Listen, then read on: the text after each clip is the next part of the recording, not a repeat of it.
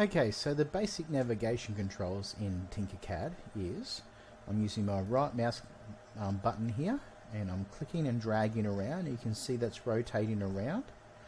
I'm using my center mouse button, the scroll wheel, and I'm clicking on that.